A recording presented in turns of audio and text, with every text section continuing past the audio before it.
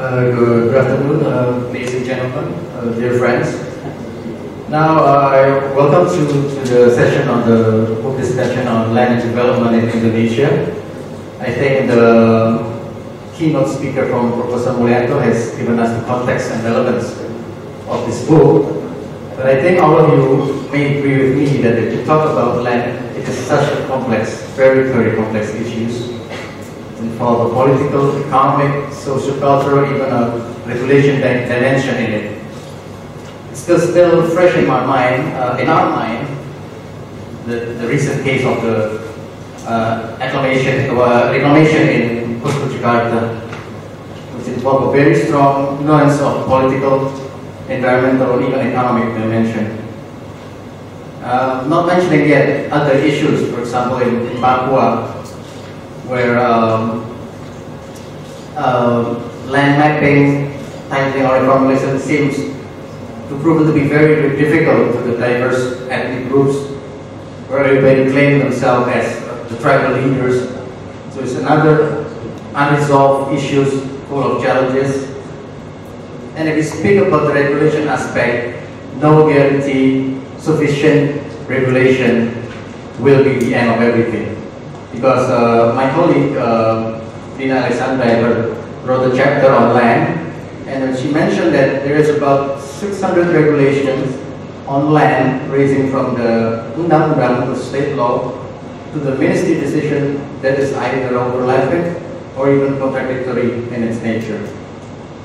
And for sure, the incidence of land conflict has risen from years to years. I just have a not too updated data, but from 2006 to 2012, there's about 232 cases. It's the tip of an iceberg. So, in this case, we have had seven presidential administration. And for me personally, I did not see or yet see any breakthrough in trying to solve the land issue in Indonesia, but we still hope towards Jokowi administration. I was fortunate to be able to read a few chapters of this book. So the key words are land, development, social justice, and reduce conflict. The question is now, can we really achieve this at this balance or make a proportional way to achieve such goal? And it's also for me personally ironic to see the subtitle of this book, which is Searching for People's Sovereignty. That means that sovereignty tends to be missing or non-existent. It is ironic because I see that sovereignty should be the foundation of land arrangement. And I quote from this book, there is just too many political rhetoric when dealing with land issues in Indonesia. And it's this opportunity I'm honored to have four authors of this book, and I will give a short introduction. In my far right is Professor Kathryn Robinson. She is a professor of anthropology in the School of Culture, History and Language at the ANU College of Asia and Pacific. Her area of expertise are gender-specific studies, anthropology, religions, and religious studies, and at the Department of Anthropology. On my right is Professor John McCarthy. He is also with the ANU Graduate School and specialized on question of governance, institution, and rural development. In my left is uh, Dr. Suraya Afiff. She is a lecturer at the Department of Anthropology at the Faculty of Social and Political Science, University of Indonesia. And she is also the director of the Center of Anthropological Studies at UI, where her research interests include climate change, land and forest and green development debates. And on my far left is Dr. Delik Hudalah. He is an assistant professor of urban and regional planning at the Bandung Institute of Technology. For the order of uh, presentation, I will follow the order of uh, authors from the book. So for the first opportunity, I will uh, give the opportunity to Professor John McCarthy, about 15 minutes.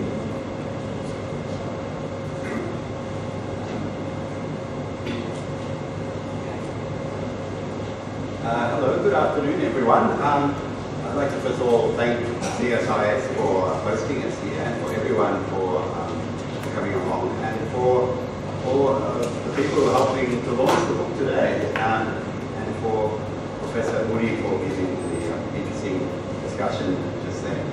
Um, just by way of preliminary comments, I just want to mention, um, very recently I went to a workshop in Myanmar where they asked some um, outside people to come and help give some input into some of the challenges they're facing in, in Myanmar. And uh, this was quite interesting um, because it gives a point of comparison for, for Indonesia. Um, the first thing that really struck me is that many in the region, and I had people from across ASEAN, um, as well as other places, were particularly impressed by the kind of the, transition that Indonesia has seen in the last 18 years. I see the other day it is 18 years since Indonesia made the transition from uh, the authoritarian period of uh, Suharto to the new era. Um, the move to democracy and the large number of governance reforms are really quite um, impressive. Um, and people, the second thing that I really noticed is that people in other countries in ASEAN really look to Indonesia in some ways like an older brother. They, they look at the things that are happening in Indonesia and they see some of the innovations. Um, particularly, for instance, in the area of land, the One Map initiative, Indonesia's fascinating experiment with decentralization and many other initiatives. And I found this particularly interesting. Um, the other thing that I really noticed, the third point out of the workshop, was that if you, they made a list of all the issues that Myanmar faces, and uh, there was also a paper that I read at the same time which looked at Cambodia and Laos. And if you look at the list of land and forest and other developmental problems, and you see them listed for Myanmar, if you put your white paper there and you wiped out the word Myanmar and you put Indonesia there, you would see many of the same problems. Of course, Indonesia has come along a lot further, but in respect to land and development, the list of problems is very similar. And I think you can see that there's a lot of unfinished business to do with land. Um, so in writing the book, um, first of all, it's really, um, in reviewing all the chapters and all the other authors, I should mention there's a couple of other authors here, um, Patrick and our colleagues from uh, Akatiga, uh, uh, Sony and uh, uh, Aprila are also here. Unfortunately, we couldn't have all our authors here, but I'd like to acknowledge their presence. Um, why, would, why do countries want to pursue a land, um, create a more functional land tenure system? I think it's really important to begin this um, with this. Firstly, we need a good land tenure system for inclusive local development and to enhance and uh, protect local livelihoods, to, and also to address so many questions to do with economic development, as well as for good environmental and infrastructure planning and for more effective forest management. And as we look around Indonesia today, you can see the need to do this effectively is becoming even more urgent. Uh, just to mention all the conflicts, um, but there's obviously increasing demand for land. There's enormous pressure for privatising land, uh, transforming customary for sorts of land into individual title.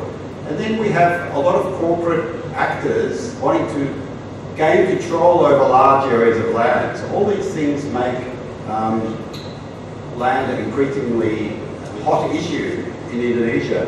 Um, and also, apart from this, we see what some people call Indonesia's developmental anomaly.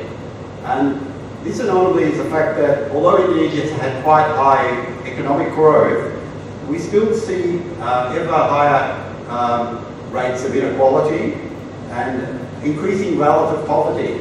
That you know the poverty rate is getting lower, but it's not getting lower as fast as, as people would like.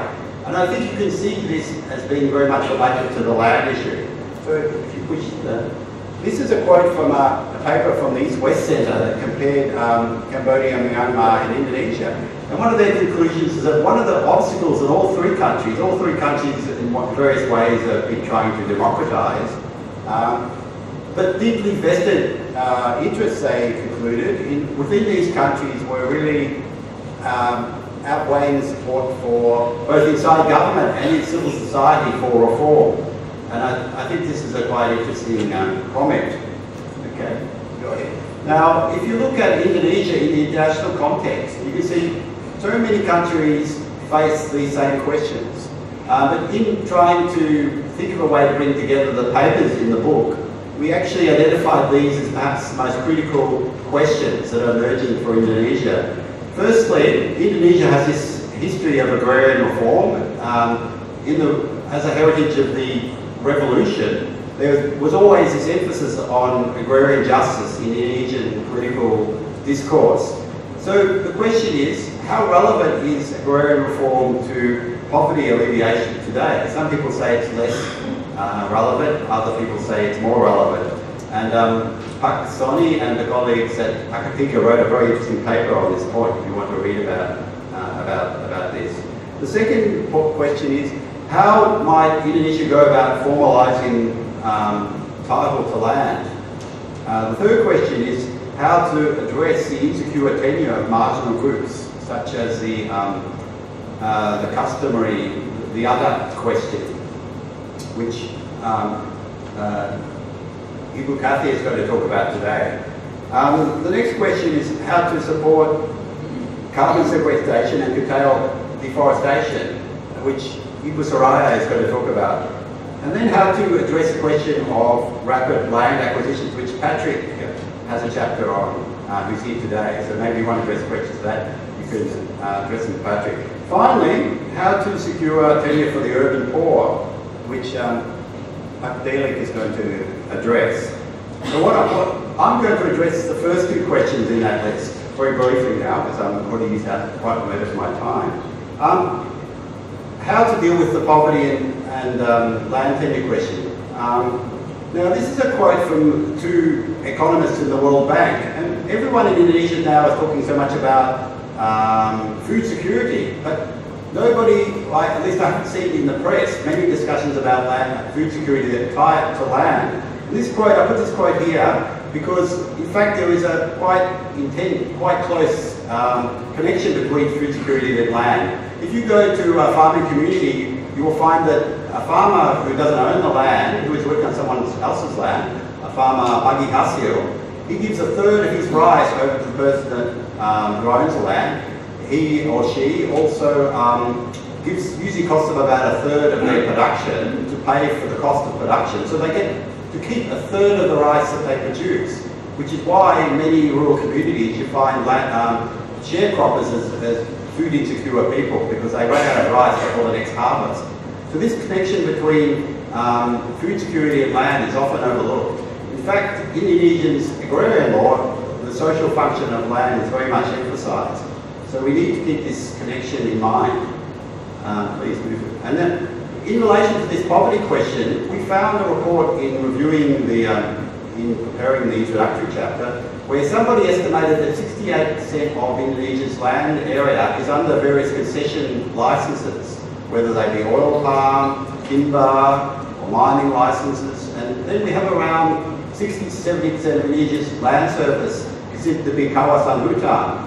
So this leaves a very limited amount of land available for people to cultivate. In fact, one report suggested that uh, one third of Indonesian villages are actually functionally landless. So the question then is, does land reform provide a way out of poverty for all these people? Now, Jeff Neilson actually wrote a paper, which is also in the book, which looks at this question, and he argues that incomes have become much more diverse. In many parts of Indonesia, you find that um, the way out of poverty is no longer tied to, to land so intensely. People leave the land, they become, they diversify their livelihoods, they go off to the cities. Um, uh, so there's this argument that livelihoods have become much more lo less local, and because land has become more fragmented, the land uh, reform agenda is no longer as relevant as it was in the past. And if we move forward, now of course, the interesting point is in Soni's chapter, Soni and Aprila's chapter, they make the argument that um, agriculture is still the largest employer, in fact, and policies to support small-scale farming are incredibly important because so many people are still on the land. Um, so they argue that Indonesia needs to develop much more effective policies to limit uh, uh, absentee land ownership. You go to many villages, you'll find there'll be 10 or 15 or 20 hectares that individual people own, even rice land, who don't live in the village. And they do a survey of various parts of Indonesia to look at how this works and how it's getting worse, in fact.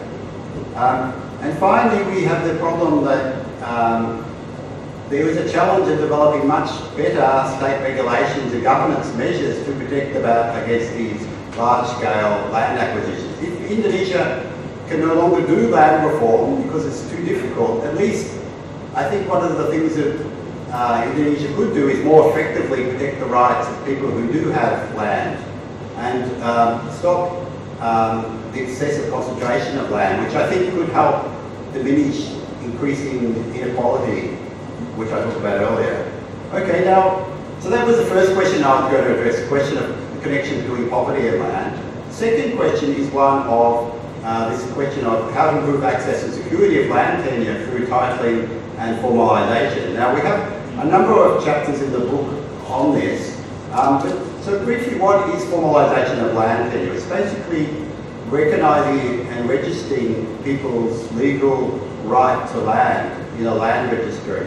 And um, uh, so Pierre Van Eng looks back over 200 years of attempts over time to do formalisation. I, I found this a this is a quite interesting chapter for those of you who want to look at the history of land problems in Indonesia. And he says that after 200 years of trying to sort this out, Indonesia still hasn't succeeded. So what we see in the agrarian law is this a very ambitious law that wants to give um, settled title to the whole of Indonesia. And this law was passed 50 years ago, I think, and Indonesia still hasn't achieved this ambition. So the question is, is this agenda still relevant? Um, now, of course, there is an alternative. The World Bank tried again. They had another formalisation project just a few years ago, which, if you read the assessment report, suggested um, it didn't work out as nicely as they hoped. They actually gave it a poor rating in terms of its degree of success. So this suggests this approach has certain limitations. I won't go into the literature. There's a wide literature looking at uh, why these approaches often don't work out as well as they should. So the alternative actually is building on existing tenure arrangements that are already alive and, working across rural Indonesia. Uh, for instance, Peter talks about um, using the letter that the local government uses to confirm the payment of land taxes to build on this uh, and create a land tenure system based on the actual kind of transactions we get. And also, there's a Surat Keterangan Tanah, the, the uh, certificate that um, is developed at the Kecamatan level, involving the village head. Use these kind of informal and de facto systems, It's the way that local other communities actually negotiate land. It's not formalised, but these systems can be actually slowly recognised and brought within the, um, under the umbrella of the law and given protection from land grabbers and absentee land owners. So this is a, the kind of agenda I think Indonesia could, could approach. This would be a participatory approach, building on what actually works already. And I think uh, I always admire the creativity of a lot of Indonesian policymakers, and I think this is somewhere where they could really do some really innovative things that could show some lessons to other countries around Southeast Asia. Okay, so that's all I'm going to say to that. I'll pass it on now to Ibu Kan.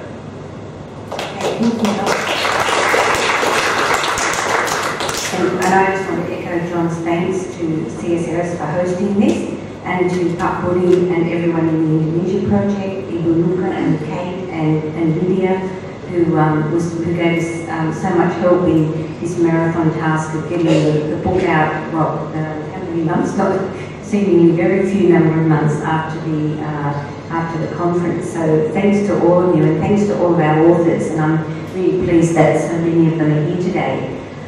Um, I'm just going to try and talk a little bit about these questions about um, um, uh, the question of adat and the question of community rights and how that might be dealt with. And can we have the first slide? I just want to show you this slide that um, popped up on my computer that I took in COCUS. And I think it illustrates really well the, the, the, the real issue in Indonesia, which is this issue about not just diversity, but about the way that that diversity has come about through this extraordinary mixing of people over the years. You know, these are these Papuan women, probably some of them migrants from Biak, um, they're Muslims, um, they're wearing their, um, their, their sarong kebaya, their nice um, North Coast Java batiks, um, and they're doing, I forget what you call that dance, but it's that dance that we usually associate with uh, you know, Maluku through to the Philippines, call it, Tingling or something. Anyway, I just thought this slide absolutely illustrates beautifully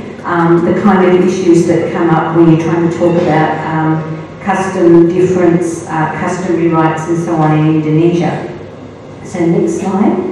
Um, now I think one thing that comes through strongly um, in the book in a number of chapters is this issue about um, the, the persistent duality in the ways of thinking about land. Remember, John ended up by talking about the need for something that's a bit more subtle and nuanced and so on. Um, and uh, uh, Adriaan Bedner's chapter is an absolutely wonderful chapter, um, which uh, looks at the history of the development of land law in the colonial regime and this uh, binary that developed between titling of land that was in the areas controlled by the colonial government um, and then the idea about adat, um, which was the way that um, land rights were recognised um, in the other areas. And um, uh, so this colonial idea was an essentialising of difference. Um, this idea that you had autochthonous populations, which, thinking back to my first slide, doesn't really uh, fit the complexity and cultural dynamism of the people of the archipelago. Um, but this kind of customary law um, uh, was, was still active and rich in many parts of the archipelago right up to the beginning of the 20th century where the Dutch um, uh, operated through indirect rule rather than um, you know, direct uh, regulation as they, they did in Java. Um, and I think there's a wonderful chapter by Nancy Peluso about Singkawang and it's um, the paper's got a focus on uh, small-scale mining, but um, the background, I mean, we, um, I think was absolutely spot on. Uh, I've got to thank you for your wonderful introduction, but he was absolutely spot on when he emphasised the importance of history.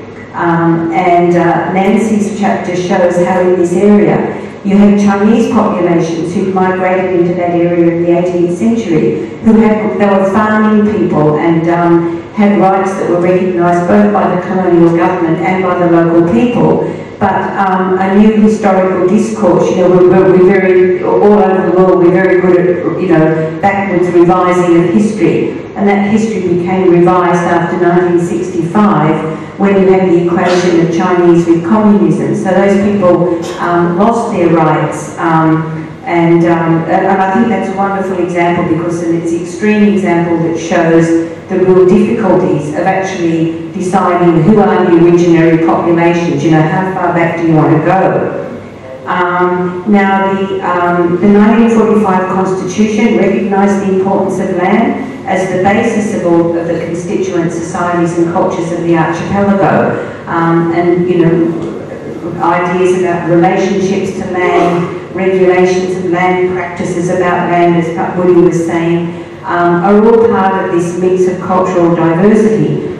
But um, the, the, um, the, the, the, Constitution, um, and reinforced later by the, um, the um, Basic Agrarian Law, tried to get rid of this binary feature of land regulation that came out of the colonial period, tried to have a unitary land law. But I think it's been really clear that this, this unitary land law, as John was saying, um, you know, hasn't been very successful in trying to sort out all of the issues that arise um, with respect to people's access to land. Um, both um, issues about land, as Dr. was saying, as the fundamental basis of existence for so many, um, so many people in Indonesia, and especially those who live in the forest zone, what's designated as the forest zone, um, but also um, the, um, uh, yeah, just the, uh, sorry, I was going to say that, never mind, let's move on.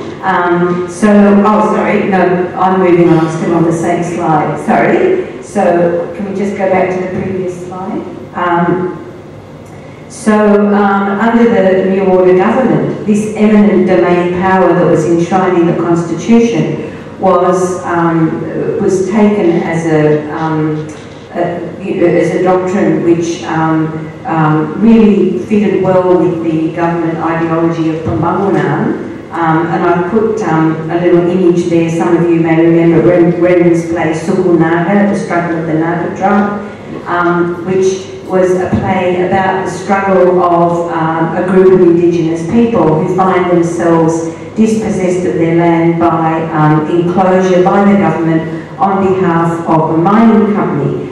And this book came out when I was doing my doctoral research in Sorowako, next slide. Um, and also, uh, Jamie Davidson has a very nice paper in the book which talks about this eminent domain power and he talks about it um, in relation to um, the Jokowi agenda for infrastructure development as another really fundamental aspect of poverty alleviation and development in Indonesia. And I noticed really Kompas this morning, there's a story about um, the slow progress um, in building all of the electricity plants. And one of the uh, hambatan that's identified is this problem of actually getting access to land. So I thought, hmm, that's a good advertisement for our book. Um, but um, uh, uh, now, my own research for the last, I think, 40 years or something um, has been on and off um, dealing with the situation of, in the Sorowako Nickel Project um, in the northernmost part of um, South Sulawesi. Um, and I think um, in my paper I, I, talk about the kinds of things that have been happening there and go back to the, the issues of the, the way that those people were basically tossed off their land um, actually at gunpoint um, in the early 1970s uh, to make way for this foreign mining project. And I'll show you a couple of pictures in a minute. But the point I want to make is that um, I think this, this project exemplifies really well um, this way in which when this kind of binary way of thinking about it, that you've got this formal kind of title which is um, valorised by the state, but these less formal kinds of titles like customary tenure, etc., that aren't so valued and are, are, are, can be easily read, read roughshod over, you've already got the makings of a, a script of resistance. And the script of resistance, which I saw in Sorowako and which I think has been played out many times throughout the archipelago, is that the people began defending their rights in terms of their identity as the Orang Asli, uh, and this idea that as the Orang Asli, as the Tuan Tanah, they had special privilege rights to benefit from this project. Now, um, this has never really, um, it's kind of been a, a long story, but um, they still retain this very strong sense of themselves as having been wronged because of that early dispossession. Um, and I think this is a really common response. And um, I remember, you know, being in Sulawesi in um, 1998, 1999, and all over the place there were these hand-lettered signs that people um, hammered into, you know, sugar fields and all sorts of fields saying Hak Milik Rakyat. So all sorts of communities that had their land um, forcibly, you know, taken from them um, uh, in the interest of um, development projects, which usually favoured um, private enterprise.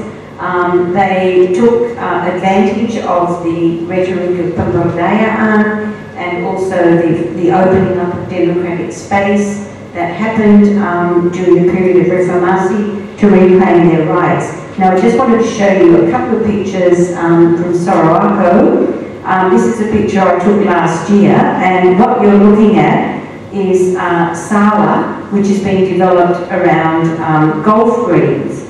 Um, and this picture, shorthand, um, tells you a long story that the people lost their land not for anything productive, not for anything that was going to generate income for the Republic of Indonesia or anybody else.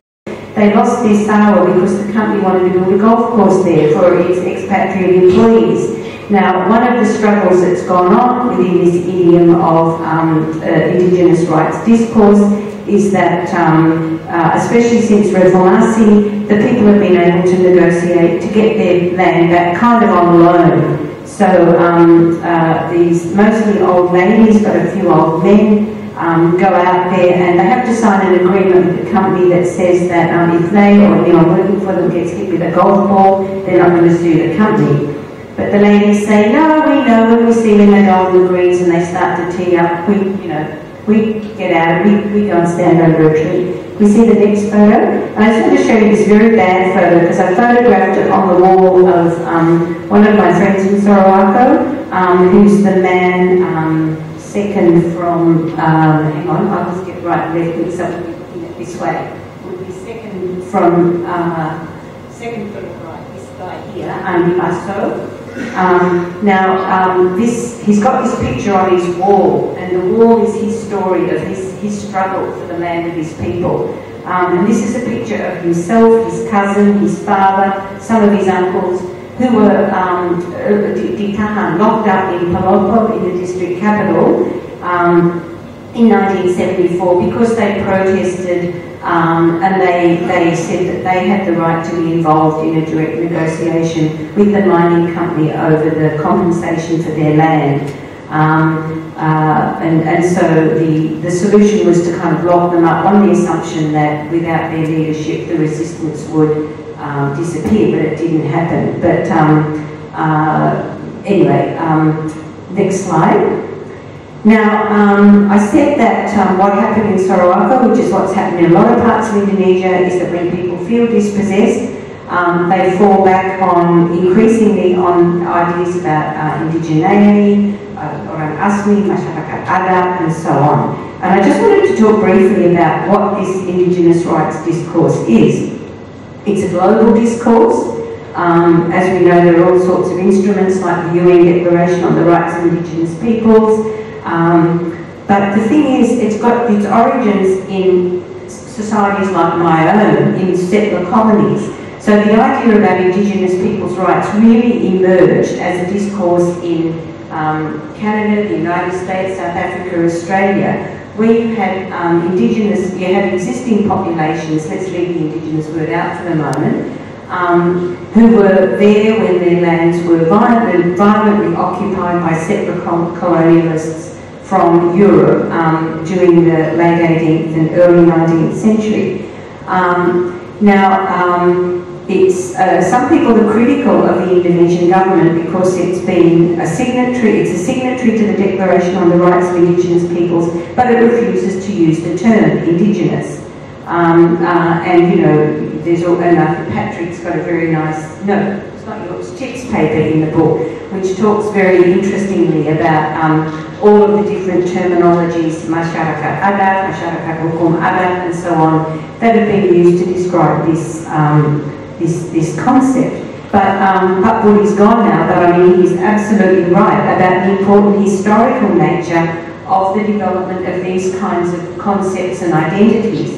And so I think um, what seemed to me to be happening was that this was emerging as a global discourse um, at the same time as you had this growing discontent um, in Indonesia and also in the Philippines um, about the ways that people's rights, uh, which they expressed in terms of customary rights, were not being recognised. Um, now, there's an awful lot of these global instruments that are, are in place, and which um, Patrick's paper, for example, finally got to Patrick, is about um, uh, asking the question, um, do, do, instruments like, um, you know, the, the uh, voluntary agreements of the Roundtable on sustain, Sustainable Palm Oil um, that require uh, free, prior and informed consent um, in situations where the local population, the occupiers of the land for the plantation are deemed to be indigenous.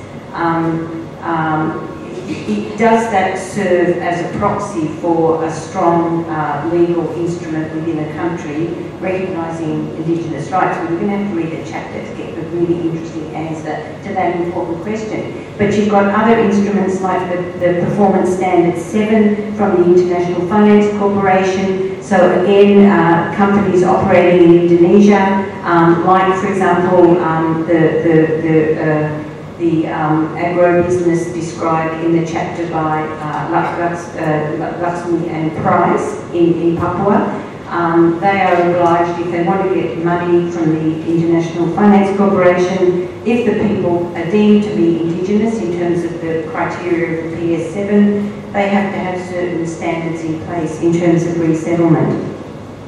But also, very importantly, there's been global NGO activism, and so that we've got these global networks who support um, people in countries like Indonesia who want to express their, um, their, their, their land rights uh, and their dispossession in terms of Indigenous identities. And so, for example, my mate Andy Basso, who was locked up in Palopo, um, went to uh, Canada when uh, uh, uh was still being operated by PT, uh, by International Nickel, which was a subsidiary of International Nickel. Um, uh, some activists in Canada arranged to bring uh, indigenous people was the term that they used from northern Canada, from uh, Nicaragua and from Indonesia, who were given uh, proxies to attend a shareholders meeting. So, you know, this is the way that this discourse operates. Uh, you know, that's a kind of a global discourse. So, can we have the next slide?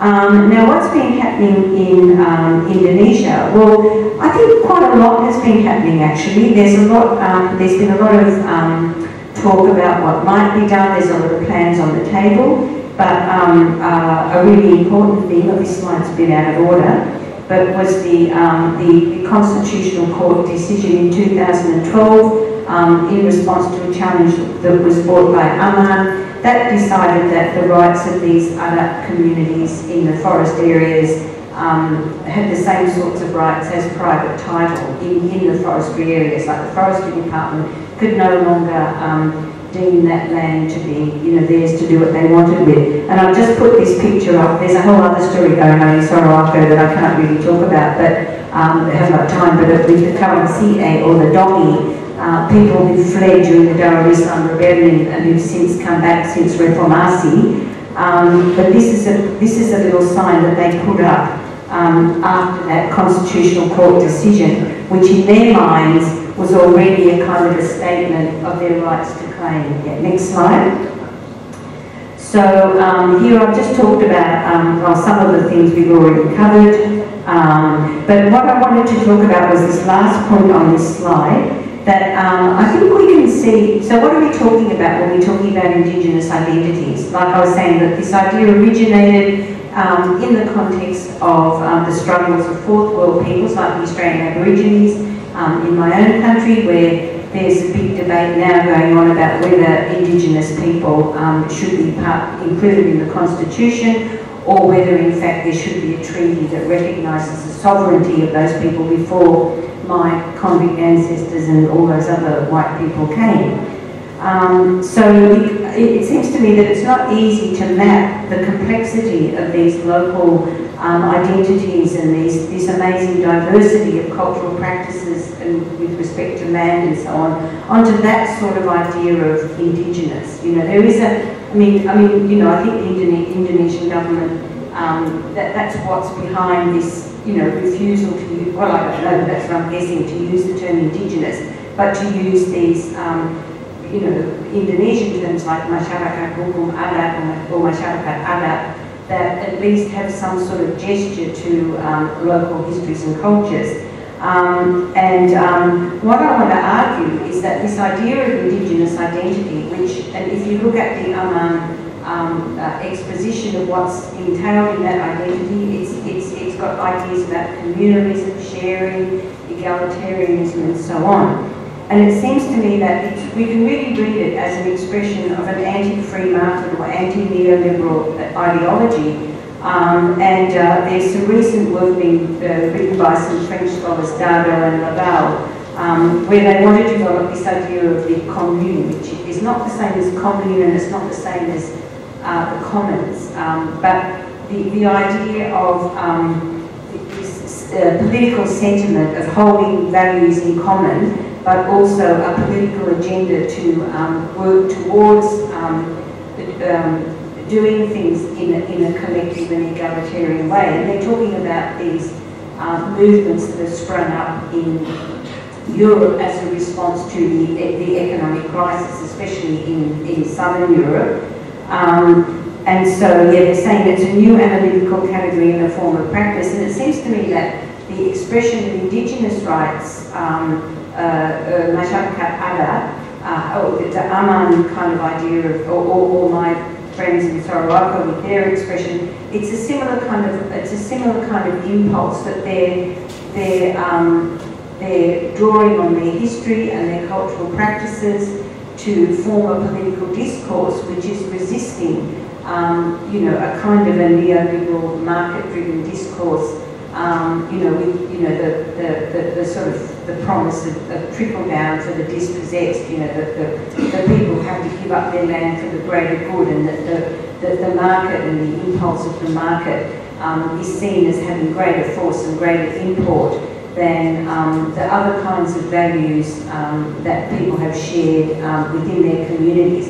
So it seems to me that's a useful um, you know, a useful area of trying to analyse and understand what's happening um, with the claims for, for Indigenous rights. It doesn't get you tied up in arguments about autochthony and who is here first. And, um, and we have the next slide. Um, uh, just think this is the last one. Um, and I think, you know, um, we've had this um, uh, uh, ministerial decree in um, uh, recent years. Sorry, I've lost my notes here but this idea of hak communal. And hak communal is a very nice kind of idea, I think, that sidesteps those issues about autochthony or origin or something like that, because hak communal um, only has a sort of a, a standard of proof, if you like, of people having lived together and worked collectively, etc., etc., for a period of 10 years. So it deals with the dynamic, vibrant, um, migrating populations of Indonesia um, the other term that I, I, think is becoming quite common is this term of orang lokal, which I think has sprung up partly in response to um, some of the requirements of corporate social responsibility law, where companies are required to have some sort of engagement with the people in their vicinity. Um, and so orang lokal is a bit similar, I think, to the sense of hak communal, that it doesn't rely on autochthony or um, some sort of notion of prior origins, but um, it's, it's about, you know, um, the people who are living in an area, um, working the land in an area, etc., um, etc., and identifying the kinds of rights that they might have in relation to um, resettlement or enclosure or whatever to do with capital intensive projects like mining and plantations. Thank you. Key argument dari uh, artikel yang saya tulis sebenarnya adalah bahwa environmentalism yang very important paling penting di Indonesia itu membuka apa ya.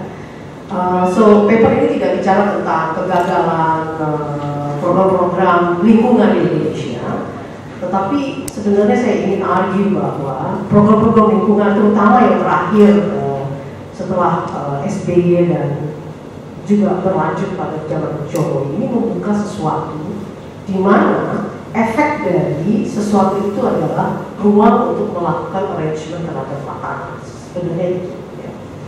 so uh, nah uh, yang uh, untuk bicara pada zaman kita melihat pada zaman Jokowi ini maka mau tidak mau kita harus kembali kepada bagaimana sebenarnya gelombang dari environmental reform di Indonesia. Jadi ada, saya melihatnya, sorry, saya melihatnya ada tiga gelombang di dalam environmental reform di Indonesia. First, uh, gelombang pertama itu adalah pada zaman kolonial, di mana pada zaman itu sebenarnya mulai dibuat reserve di cagar alam, uh, Eh, daerah-daerah yang di, kemudian dikeluarkan dari kawasan-kawasan untuk produksi dan ada sekitar 67 cagar-cagar alam yang terbentuk pada zaman kolonial uh, itu ya. Jadi mulainya pada 19 uh, sekitar 19 uh, 1919. Nah gelombang kedua adalah adalah gelombang pada zaman uh, Soeharto sampai kira-kira ini tetap berlangsung ya. Eh, jadi ada paralel juga. Jadi gelombang kedua itu mulai dengan di kalau dalam ilmu sosial ada teritorialisasi dan negara untuk kemudian mengklaim tiga per 4 dari wilayah Indonesia menjadi kawasan hutan. Dalam kawasan hutan kemudian ada kawasan-kawasan yang kemudian dizonasi, mana untuk produksi, mana untuk proteksi dan segala macam. Nah, kawasan uh, itu menghasilkan sekitar 20, 17 sampai 20 persen kawasan yang kemudian menjadi kawasan konservasi. Di mana seluruhnya ini punya efek terhadap masyarakat yang tinggal di sana. Nah, gelombang ketiga, which is itu yang menjadi fokus dari artikel saya adalah gelombang di mana mulai environmental reform itu berkaitan dengan climate change, di mana perubahan mana kawasan-kawasan ini kemudian dilakukan arrangement atau perubahan pengelolaan perbedaan uh, pengelolaan di dalam lahan yang semuanya berefek kepada uh, apa namanya masyarakat. Nah, tetapi yang saya ingin katakan bahwa pada gelombang ketiga ini uh, kita lihat masuknya proyek-proyek lingkungan terutama yang terkait climate change uh, dalam hal ini untuk Indonesia adalah uh, RED, uh, Reduction Emission for Deforestation and Degradation. Apa yang terjadi pada zaman ini, pada ketika diskurs tentang climate change tentang RED ini masuk? Dan dalam hal ini saya tidak bicara tentang gagal atau tidak gagal, bukan itu intinya. Menurut saya membuka space apa yang uh, diskurs ini atau reform.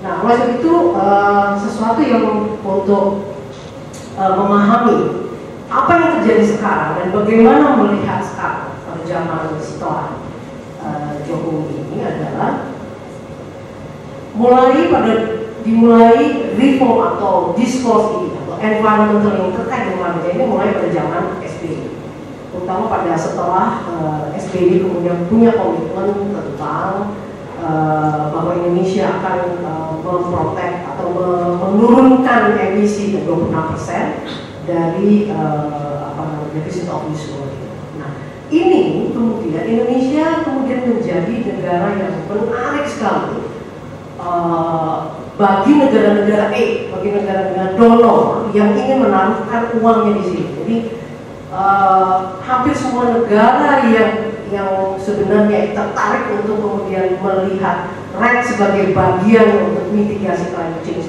ini menaruh uang Indonesia. Nah, hal yang paling uh, menarik adalah Project Norway. Saya tidak bicara tentang berapa punya, tapi apa yang dikreasi atau yang di, muncul emerge dari proyek ini. Nah, ini penting untuk kemudian melihat bagaimana proyek ini membuka political space apa. Norway menaruh uangnya dengan syarat bahwa ini harus dikelola di luar Kementerian Kehutanan. Artinya di luar sektor-sektor yang dilihat banyak orang bermasalah. Ditaruhlah red ini di satu uh, apa namanya institusi yang namanya UKP 4 di mana langsung di bawah presiden. Dan ini penting gambar ini memperlihatkan bagaimana satgas itu sebenarnya berada di atas semua sektor-sektor yang ada di Indonesia. Terutama sektor yang menguasai lahan terbesar di Indonesia yaitu Kementerian Kehutanan. Ini membuat upset banyak orang kementerian tetapi untuk civil society this is the peluang dan peluang inilah yang kemudian dipakai demikian rupa untuk mempromosikan kembali atau mendorong kembali diskusi yang mandek ketika uh, apa namanya uh, isu land uh, akses dan kontrol terutama di dalam kawasan misalnya tiga per empat wilayah Indonesia itu. Mandek didorong dengan Kementerian Kehutanan tetapi punya peluang di uh, terbuka setelah ada satgas ini. Jadi satgas itu sudah ber, berkolaborasi kemudian uh, apa namanya kuat dengan uh, apa namanya dengan civil society. Nah, Norway sendiri tidak hanya menaruh uang ke pemerintah, tapi juga menaruh uangnya atau mengalirkan uangnya ke civil society. Nah, ditangkap oleh civil society oleh kelompok key civil society Indonesia untuk mendorong kembali apa yang disebut mereka bilang forest reform. Ya, mereka punya dokumen, mereka bikin lain uh, Patrick ini salah satu juga uh, masuk di dalam uh, apa namanya koalisi ini tidak namanya di situ ya, tapi membantu di situ. Bagaimana kemudian menjadikan agenda ya, jadi apa namanya ini menjadi pendorong untuk kemudian e, melahirkan beberapa yang namanya e, turning points. Ada dua yang yang penting.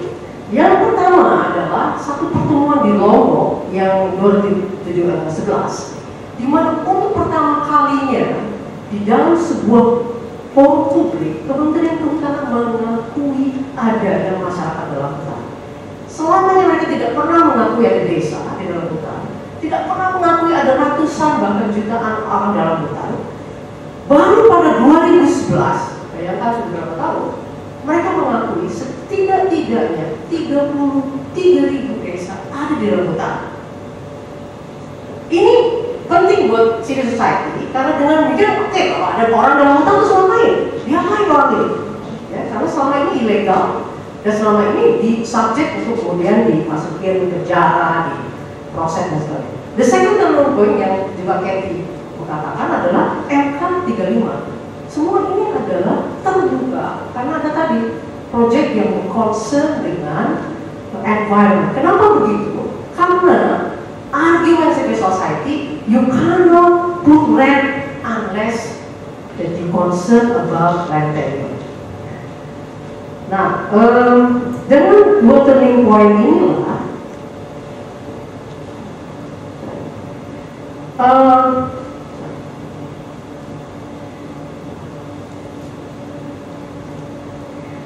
aman sebagai organisasi uh, asosiasi masyarakat uh, ada itu kemudian merapat uh, ke badan rek ya jadi forum ini digunakan oleh society untuk kemudian me, uh, berkolaborasi dengan badan rek antara yang terkait dengan registrasi tanah-tanah yang diklaim oleh masyarakat adat ya. Di sebelah kanan itu foto uh, Abdul Nababan teman saya dan temannya Patrick juga uh, melakukan uh, kerjasama dengan uh, Bapak Heru, ya, Pak Heru waktu itu masih menjadi ketua badan RED. Uh, dan bagaimana ini penting uh, di dalam perjuangan kelompok-kelompok society untuk mengembalikan isu-isu lahan uh, pentingnya uh, memberikan akses dan kontrol kepada masyarakat. Nah, dalam campaign Jokowi aman secara terbuka melakukan uh, apa namanya uh, pernyataan bahwa mereka mendukung Jokowi dengan harapan Jokowi dan uh, pemerintahnya kemudian akan mendukung proyek-proyek ini, proyek-proyek untuk memberikan uh, akses pada lahan. Nah, jadi kalau kita lihat pada zaman Jokowi, sebagian dari kebijakan-kebijakan SBY diambil BPR dibubarkan, masukin ke Kementerian Kementerian Kehutanan dan Lingkungan disatuin, which is juga itu uh, surprising buat civil society. BPR dibubarkan juga surprising, tetapi kemudian ada yang diambil, terutama ide tentang memperbesar akses itu, yaitu 12, ini juga 12,7 juta itu kemudian menurut saya sebagai civil society terlalu kecil ya. Tapi at least lebih besar sekian kali daripada zaman SB. SB yang janji sekitar 5 juta ini 12 juta. Nah, um, dan ini ini menurut saya adalah sesuatu yang tidak mungkin dilakukan tanpa adanya discourse environmental ini. Nah, tapi despite dari seluruh banyak proses dan perubahan yang ada di nasional, pertanyaannya seberapa jauh yang uh, persoalan apa namanya kebijakan ini ke bawah di tingkat tapak sendiri itu ternyata banyak hal yang belum e, berubah. Ya, sampai sekarang meskipun ada janji 12,7, ada janji tentang e, apa namanya MK 35, semua itu masih masih punya persoalan. Dan sampai sekarang eh, hal-hal itu jadi perubahan di tingkat ada lebih baik tapi tidak jauh lebih baik tidak progresnya di tingkat tapak itu justru tidak sebesar apa yang ada di, di nasional. Tapi inti dari semua, saya ingin dalam paper saya bahwa bicara tentang environmentalism itu tidak bicara saja tentang environment atau bagaimana apakah ada proteksi, tetapi ruang-ruang apa yang terbuka ketika sebuah proyek, sebuah diskurs tentang environment itu hadir di dalam diskurs nasional. Sebenarnya itu aja intinya, selebihnya silakan baca di buku. Terima kasih. would like to present uh, these are complementary uh, topic issues that are added to the issue by the previous presenters. we are looking more, uh, maybe it has any relation with the discussion in the morning. What was uh, important remark is that uh, we are, we Indonesia actually uh, entering a very important development phase where we have to improve our competitiveness compared to other neighboring countries. And what was uh, great homework for governments and uh, the society is how to improve the infrastructure. And in this presentation, I would like, we would like me, uh, Delik Hudalah, and two other co-authors, Yuri Nur Hayati is here, and Tommy Firman. Uh, a few years ago, few years ago, we were focused on a very basic kind of infrastructure that all humankind uh, need is housing. So uh, this is all about it, and what was uh, bottleneck to infrastructure development, including housing, is in many expert observation is two important things. First is the issue of land, and the second thing is planning. And that is going to be the focus of this chapter is the land side of the infrastructure development. And what would be the main argument in this chapter is that uh, we were focusing on the institutional uh, frameworks and policy systems regarding this land. And we observe that in, in, in, in some points, we see this kind of a, the existing infrastructure, uh, institutional framework uh, tend to uh, hinder the uh, process of land and housing development instead of facilitating to happen. Uh, so that's that's the important thing. Is it Lynn? Okay, next. Okay, just next. Uh, so this is the context where uh, Indonesia is now, uh, most people are going to live in, in an urban context and we already have uh, housing backlog millions, millions every year. And we have many people we live without home. And some people, many people live in a very poor quality of dwellings and some resulting problems is uh, including efficient land development. And this is also important is that these people who live in a uh, poor quality environment, they have uh, bad access to urban amenities and infrastructure. And what other issues, which is also resembles the things happening in uh, other contexts and other is illegal occupation and this conflict. Next. And uh, the basis of our analysis is based on uh, uh, legal uh, or regulatory analysis and two case studies which were actually conducted a few years ago before the Jokowi terms. And so there might be some updates, but there are some uh, important things that uh, I think is still relevant and, and what is I'm happy with uh, what uh, one of the, the, current government's uh, effort is to integrate uh, land and planning division under one ministry. That's that's a big step. That, according to our analysis in the past, in, in this case, which is 2011, is one of the uh, important recommendation to, to make uh, this the process uh, more efficient. Next. Uh, well, I will not go far with this because it's also uh, presented by the authors. Uh, just to remind that we have going through different phases of land administration system, and we, we now acknowledge in the regulation is both modern and uh, traditional ownership. Next. And uh, this is also, I'm not going far with this, but what is also becoming the problems in, uh, there is gaps between the system or the legal framework and the practices.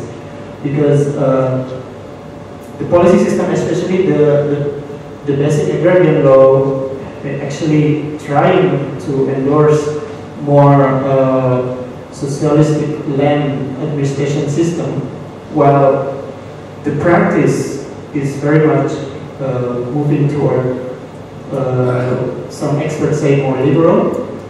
Uh, but what is uh, the problem resulting from this is how many land are neglected because of speculation, for example, and the misuse of land title, land title, sorry, and uncontrolled land market. And we also have witnessed how the 1997 uh, crisis was also partly triggered by this land speculation. Thanks. Um, yeah, BPN or the land uh, land administration agency is a very still important institution uh, when we talk about land administration in Indonesia, and it has a quite strong task to formulate and coordinate land policies. And BPN is, interestingly, is one of few centralized institutions in Indonesia. And they don't have, uh, they don't have, they are not obliged to coordinate with the local governments. This is under uh, the, uh, some regulations. Um, and they build kind of a uniform, uh, uniform uh, regulation across the country with regard to land. Uh, and this is they represent the central government in making land uh, regulation and policies. And this is the context for next.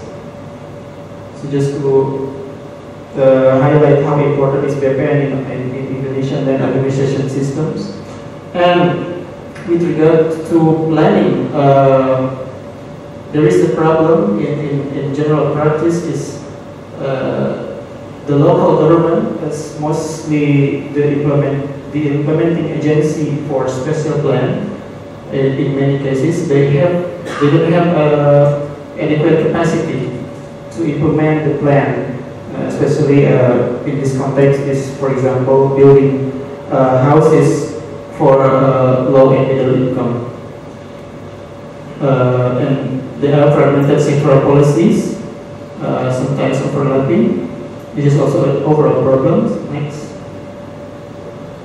Uh, next.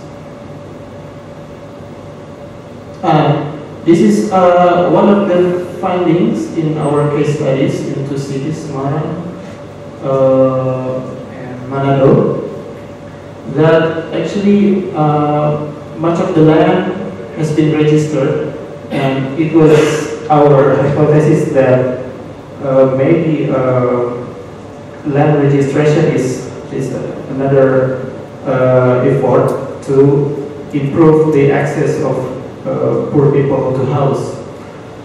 What is interesting, actually, in urban context, many much land have already registered with the bank, at least in these two case studies. So they have a very good security of tenure. But uh, regardless the fact that much land are registered, we observe many part of the uh, people, poor people, actually live outside this uh, secure uh, land in dense kampung, for example, and even squatted in the riverside. And some are informally renting the land from others. Uh, some other, because of the high price of the land, they move out from the city and live in the surrounding areas, in suburban areas, and they live in the housing uh, residential areas built by the private developers and mostly have a poor accessibility and infrastructure. Thanks. So this is just to uh, show how land price in the city is uh, very uh, much different from those in the uh, surrounding areas. Next. Uh, this is the situation where the, in the inner city we see some kampungs and, and, and also uh, squatter and while in the uh, surrounding area is uh, small houses built by the developers. Next. Next. And uh, then with regards to we, uh, our objective of uh, analyzing how the institutional and regulatory framework uh, with regards to land in practice, we see that there are uh, there first it was difficult for us to measure actually how pricey or how expensive, how cheap uh, to register land, especially for poor people. It, it's very difficult for us, and, and, and uh, in, in, our observation, it, it, there is quite varying practices. And the overall, for example, is uh, in terms of time, it can be six months or even one year. Some could be three months. So there is no certainty. That's that's that's the thing. There is no certainty in terms of time and price, at least, uh, and that's quite a problem. Then uh, next. And there is uh, quite minimal transparency with the process. If we ask for like a full uh, brochure or whatever you need for you to know how, how is the process of land registration, that's quite quite uh, effort to get it in, in the local uh, land offices. And there is a kind of multi-layered bureaucratic procedures. So first you have to go to the very community uh, level, like Kelurahan or even RT/RW and move up that's some multi-layered bureaucratic procedures and uh, some uncertainty in terms of times and fees uh, because there are also some uh, imposition of extra legal fees or unwritten fees that you have to pay. And the result is uh, the issuance of permits or land registration is in many cases, and this is not just according to my research, I, uh, my colleague from uh, the US also, uh, from some other uh, evidence, it is, uh, it is found that sometimes the land registration is, for poor people at least, it's even more expensive than buying the land itself. Next. And with uh, the land development practices, especially for formal housing development by the developers, uh, especially after the decentralization era, uh, there are quite some actors that are involved in the land development process, uh, from uh, local governments and DPR and uh, some other. Next. Next. Comments? Comments? Sorry. Comments? Yeah. So, uh, for example, the development uh, permits, uh, there is some bureaucracy and it's unwieldy and it may take years for developers and uh, they have lack of assistance in terms of infrastructure provision for houses like roads, sanitary, and others. Uh, so there are some delays, and to avoid this delay, some developers even uh, silently violating procedures so they, the, the project can run smoothly. Next.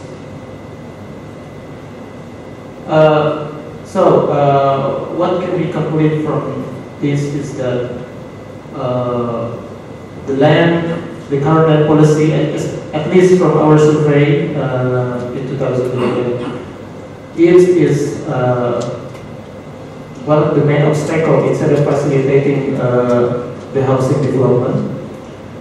And there are three key challenges, uh, unclear property rights, then inefficient land development, and lacking of uh, human and institutional resources from the state agencies. Next. Yeah, I guess this is the last slide that I just give it maybe for discussion. Thank you.